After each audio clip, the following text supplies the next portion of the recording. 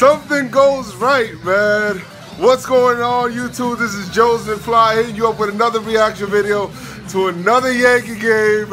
And my boy Clint Frazier comes through in the clutch after we're down one with a three-run walk-off bomb to save the Yankees from losing another series for now. So it's just an awesome job today. He had a great game.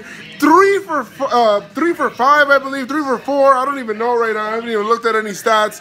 With with um, he had uh, the first hit of the game. He did a great job today. I mean, Clint Frazier, man. Oh my God! Thank you. Thank you. Maybe this is a little spark. I'm hoping because Betances came in today. He did good. You got um, Chapman came in today. He did good. Maybe the bullpen can be able to get it together. And off we go in the, the, the second part of the season, man. We needed this win to lose another one like this and to waste a seven inning 10K performance from Severino, who today was awesome, except for that one mistake in the first inning where he threw that fastball right over the plate and Santana hit it. I think it's Santana. I'm not sure. Domingo or whatever. He hit it over the the uh, the right field porch. Man, it's just great, man. I wasn't even able to make it to today's game. Just you know, tickets were a little costly, but I'll be there tomorrow. But Man, what a big game, man. We needed this one today. Yankees pulled together to win this one, and it looked bleak for a long time. You know what? I feel so happy. I think I'm going to get a haircut.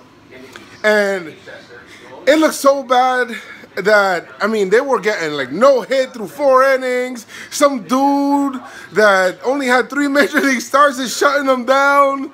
It's like, oh, man, it's great. It's so great to see. Now, Clint Frazier has joined the party. Hopefully he starts to feel comfortable up in the major leagues and he starts to feel like a major leaguer now because that was a bomb he knew it right off the bat.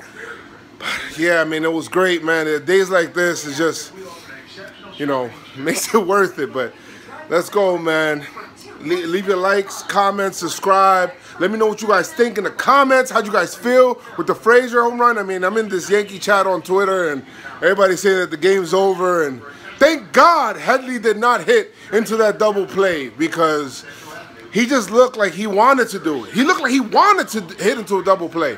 But he, he did the team a favor and he struck out.